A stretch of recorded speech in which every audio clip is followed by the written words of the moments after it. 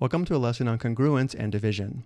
Suppose AD is congruent to BD mod n, then A is congruent to B mod n divided by the greatest common divisor of D and n, which indicates we can simplify a congruence.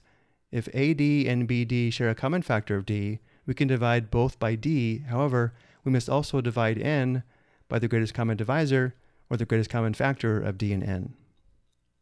If D and n have no common factors other than 1, meaning they're relatively prime, then the greatest common divisor of d and n is equal to 1, which gives us a is congruent to b mod n.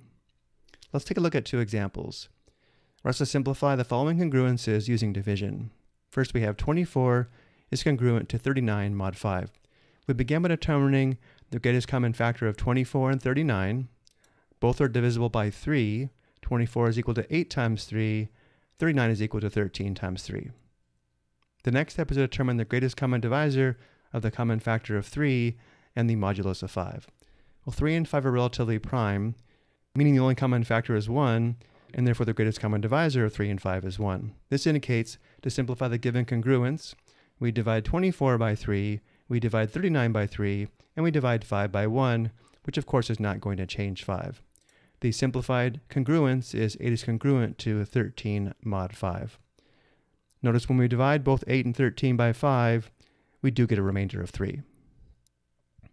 And now for the second example, we have 24 is congruent to 39 mod 15. Again, the first step, which we already know, is to determine the greatest common factor of 24 and 39, which is 3. But now we need to determine the greatest common divisor, or greatest common factor of the common factor of 3 and the modulus of 15. And the greatest common divisor of 3 and 15 is 3, which indicates to simplify the given congruence, we divide 24 by 3, 39 by 3, and we must also divide 15 by 3.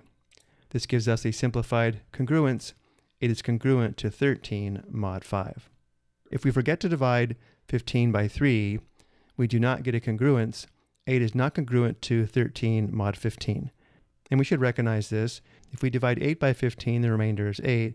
If we divide 13 by 15, the remainder is 13. I hope you found this helpful.